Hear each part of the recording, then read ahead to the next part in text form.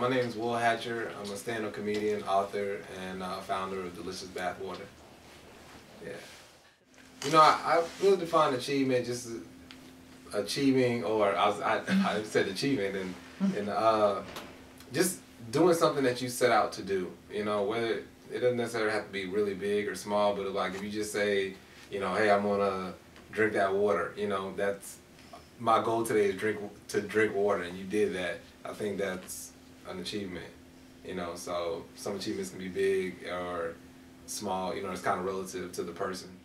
My mother's Jamaican. My father's a regular black, I guess. Uh, uh, yeah, um, went to grew up in Delray Beach. Um, went to school in Miami, FIU.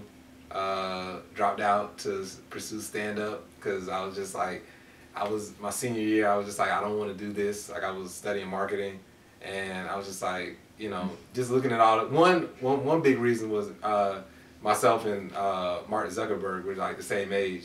I was like, he's already a billionaire, and I'm taking classes. So I was just like, you know, um, I just saw that, you know, it wasn't. I just believed in myself, you know, and I was just like, I don't really need. Like education is good, not anything's bad with it, but like the route that I wanted to go with stand up, I was like, I don't really need these classes, you know, to do yeah. that. So I was like, the, the sooner I can start just kind of dedicating myself to this craft, then the better. So, you know, my parents were like, they they gave me and my sister like a lot of freedom um, as kids. It was just it was kind of like you know it was. They set really high goals for us, you know. Like they, my mom would always tell me and my sister that we were really smart, so that kind of just got drilled into our brains. Um, but it, I don't think we had any like necessarily like expectations. It was just like just make something of yourself, you know, that's positive and stuff. So because like my mom, she came from Jamaica you know, like she was the only person, like one of her family that came from Jamaica. So like everybody else was like still Jamaican, and my dad was like the only one from his family that you know was at the time, you know, like really successful. So having those two like role models is like you know two separate, you know, they're two separate people from different parts of the world that both kind of like made it out of their fam, you know, that they're the success of their families. Like it was for me and my sister, it was just like you know you got to at least try to surpass them, you know. Um, but yeah, I don't know. I, I don't think they. Now I think, I don't think they ever gave us like like, told us like you have to be X, Y, and Z. You know, it was just um, my dad is just like just just get a job. You know, just get. And my mom is, um, you know, just I guess she's more of an artsy type, so she just she's just, just be happy. You know. What did you want to be when you were a kid? Batman. That's that. Duh. That's uh, yeah, Batman. Um, just some type of superhero. I think that's what the whole like make your brain twerk thing is like. I love like Professor X, and um, I love Batman just because he was so smart.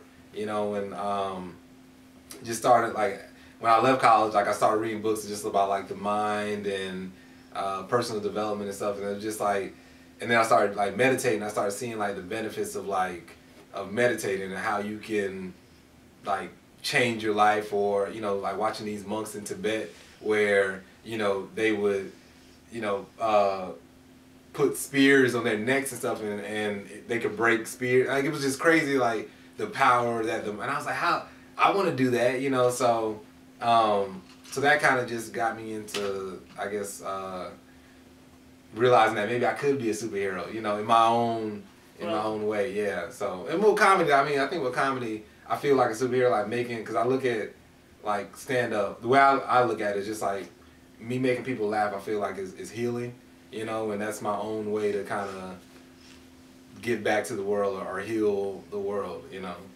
I follow my intuition, you know, so like um, in 2009, like I moved to San Francisco and it was just, I went there for like a month and I just came home, packed my bags and like just moved out. I didn't know anybody, you know, I just moved out there. So like now I'm kind of getting this like, this itch to like go to like New York or like Chicago. Probably New York though, because it's just something's telling me like to. I'm having dreams about it, like so. I'm like, yeah, I should probably be there.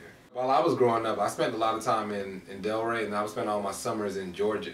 So, um, in the part of Georgia, was, it's called Cairo, Georgia, which is like super small. Like the the highlight of the town is like Walmart. They have a super Walmart, and like that's that's is, that's Disney World to people in, in Cairo. So um, I think it just you know it just it makes you really like humble, you know, because you don't you don't need a lot, you know.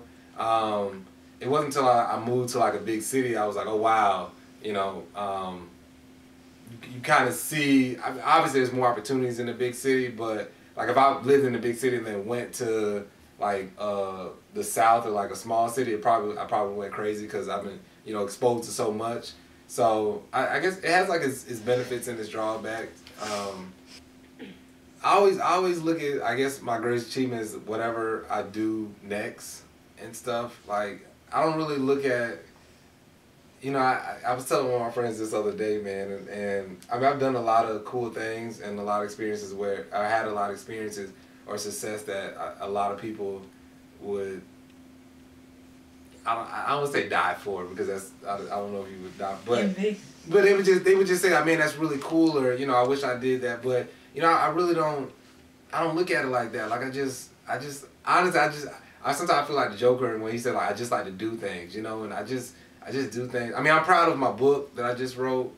Um, um, I think like after this TED talk, like this will probably be my greatest. Like it's always just like the next thing. I'm like, okay, this is, I'm happy about that. And then I'm happy for a moment. And then it's just like, okay, what's the next thing that I could do? So what I realized about happiness, happiness is really just kind of a state that you're in, you know, um, you can snap yourself out of, like if you're feeling like, it's, it's really just like these circumstances happen and it's really just about how you kind of respond to it, you know? So if you're feeling unhappy. I just find things to be really grateful for, you know, and I think that's that's what keeps me really happy. Um, what are you grateful for?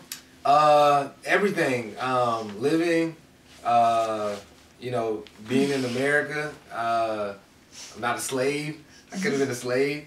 Uh, happy for my family. I'm grateful for my family, um, my friends, uh, people like like this, like you guys. That's um, they just, they, they just breathe like air, clean water. You know, like people don't have clean water in the world, so like there's always something.